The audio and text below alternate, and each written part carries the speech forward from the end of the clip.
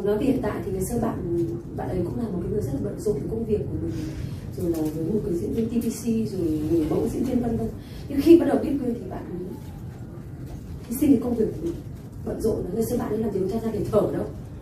Công việc của nghệ sĩ thì dù là là nổi tiếng à, bậc nhất hay vừa vừa chung chung hay là người một người bình thường làm nghệ thuật cũng rất là bận. Vì toàn những người xấu bằng nghề thì rất bận. Thế nhưng bây giờ bạn ấy cũng cất những cái việc ấy đi.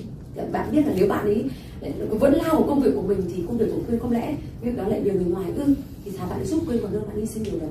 Đó là một cái cái mà bạn ấy chịu rất nhiều sức ép. Chỉ bởi tại mỗi một điều là bạn ấy có lỗi là bạn ấy lỡ chọn lựa quên trong cuộc sống của bạn ấy thôi. Bạn ấy thiệt thòi. Nhưng mà rất là nhiều thứ, ví dụ như mọi người hình ảnh của quên bây giờ đẹp hơn không? Bạn thấy là sao? Là vì sự khó khăn của bạn ấy bạn ấy khắc khe hơn, bạn kỹ càng hơn. Nó không mình này cũng áp được đâu ui đẹp cũng áp đâu thôi bây giờ phải chụp máy cơ đi. Bây giờ để để, để chụp máy cơ cho cho nó đẹp hơn. Bạn ấy bác bỏ tất cả những kỳ ngày xưa quên suốt này. Người hình như mười đấy. Cầm xem phim cái bùng phát thế là đang cứ mười hình là gần như là một một một một màu. Bây giờ thì mọi người thấy dòng xuyên đẹp hơn chỉ chu hơn trong hình ảnh. Rồi mọi thứ nó phản ánh là do bạn ấy tác động rất nhiều. Cái cái sự tư duy trẻ trung của một người một thế hệ à, trẻ hơn quyên cho quyên cái sự bớt cái sự cục bộ đi. Bọn quyên cục bộ lắm. Ừ, bởi vì rõ ràng tôi là người thành công trong sự cục bộ đấy. Tôi cần làm gì khán giả cũng yêu tôi mà tôi vẫn lên đến đỉnh cao của sự nghiệp của tôi. Tôi cần gì thay đổi thế cơ mà, ngang như thế. Nhưng bạn thay đổi thì cũng thấy rõ ràng là tốt hơn. Mọi người thấy cái tích cực hơn. Và xưa dưới chuyện tập thể dục một tháng đi lên làm trò, mặc đồ, tập cũng check in, check đồ thôi. Còn bây giờ tập miệt mài và rõ ràng được là truyền cảm hứng cho rất nhiều chị em, thì bạn cũng ảnh hưởng đến nhiều người đấy.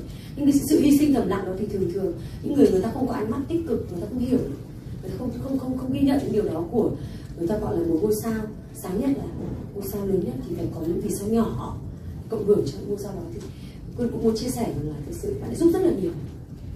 Bạn ý và những người xưa đến giờ bên cạnh tôi giúp tôi rất nhiều.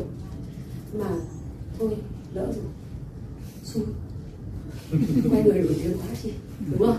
Thế nhưng mà rất mong mọi người sẽ có một cái nhìn đúng đắn hơn về những người bên cạnh của những người bị suy đổi tiếng giống quyên không riêng là quyên ạ.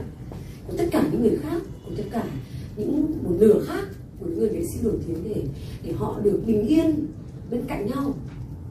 Quyên thì được cái 23 năm thần kinh thép rồi.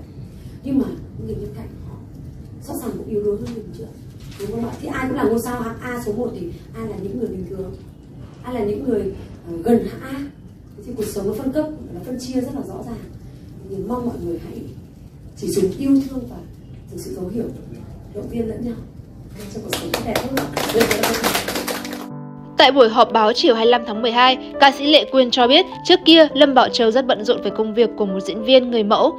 Từ khi cả hai yêu nhau, anh hy sinh sự nghiệp riêng để hỗ trợ cô. Anh khắt khe và có định hướng giúp hình ảnh của cô trước công chúng đẹp hơn, cũng như khiến cô thay đổi tư duy trong sự nghiệp. Anh tạo động lực cho cô tập thể dục, rèn luyện vóc dáng. Tuy nhiên, sự hy sinh thầm lặng của anh không phải lúc nào cũng được nhiều người biết đến. Lâm Bảo Châu chịu rất nhiều sức ép chỉ vì lựa chọn Quyên trong cuộc sống của mình.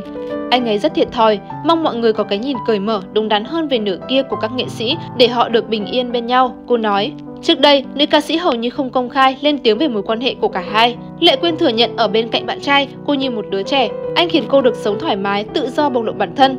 Âm nhạc của cô cũng có tư duy, màu sắc mới hơn. Tôi thích mình của hiện tại, Lúc tôi như bà già, thích thì làm người phụ nữ trưởng thành, thành công trong lĩnh vực của mình. Lúc giận hờn thì có thể ỉ ôi, khóc lóc, cao cấu, đôi khi lại rất mềm mỏng, yếu đuối, ca sĩ nói.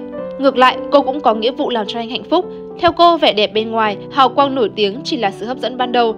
Tuy nhiên, điều khiến cả hai gắn kết lâu dài là sự quan tâm, chia sẻ, chăm sóc lẫn nhau. Sau ly hôn, Lệ Quyên hẹn hò với diễn viên Lâm Bảo Châu, kém cô 12 tuổi. Cả hai đang ảnh chung trên trang cá nhân, thường xuyên sánh đôi tại các sự kiện. mùa đông sắp đến trong thành phố buổi chiều trời lạnh héo mây từng cơn gió bước chân về căn gác nhỏ nhìn xuống